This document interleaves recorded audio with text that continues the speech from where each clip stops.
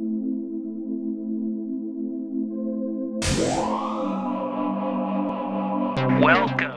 Hey, this is Lex over at Max Future, and this is a first look at a major update to one of my favorite apps for the Macintosh called Fission.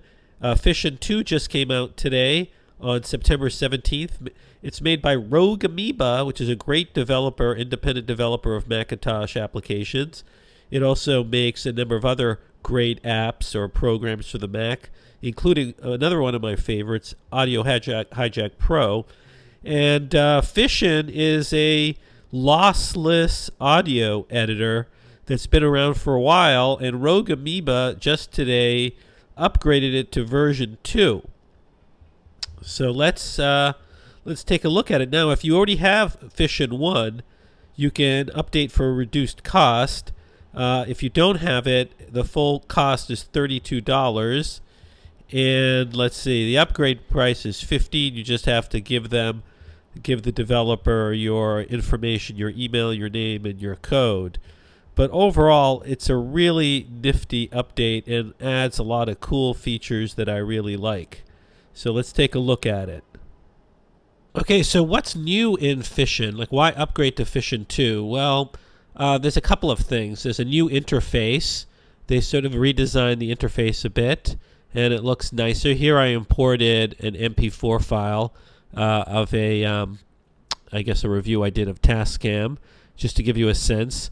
Uh, that's something that's nice. But what are the big things in it? Well, you now have multiple windows, so you you don't have to close out a project. You just go like I'm going now. Let's say, and open. Op here's an M4V file.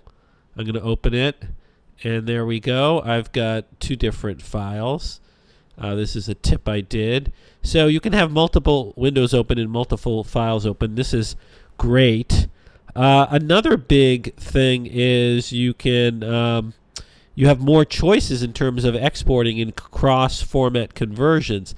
This is really important for me because I like to convert my podcast to MP3, and before you really couldn't do it um, in Fission, and now you can, and you basically go up to File and you go to export, you have more choices now. You've got MP3, AAC, ALAC, FLAC, AIFF, and WAVE, and you've got a lot of choices for MP3. You've got medium, high, uh, low, and under high, it goes as high as 256K.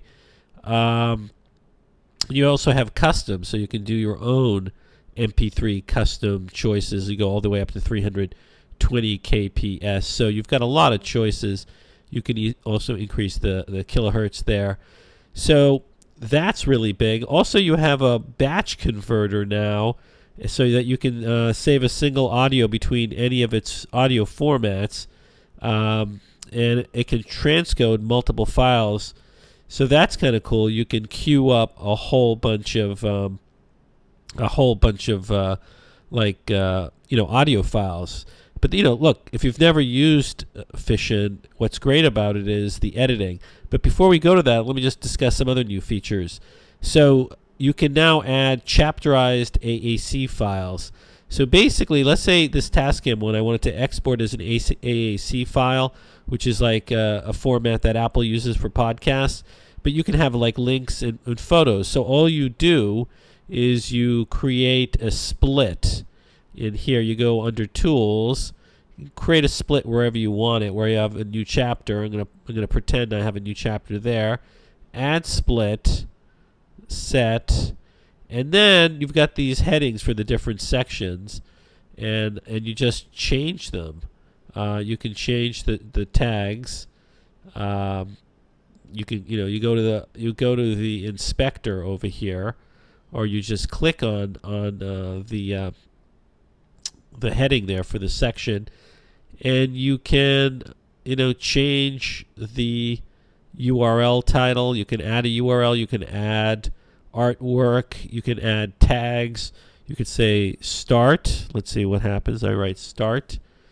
And there we go. Now I have start there. The next one's going to be second. And I'm going to go select next clip. And third. So I've created third. I've created three sections. Um, and you can add in artist.